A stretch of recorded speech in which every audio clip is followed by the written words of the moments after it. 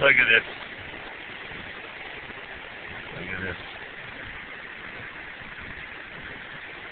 Mm. I just don't know if I'm gonna get out of this car. uh, you see out my sunroof?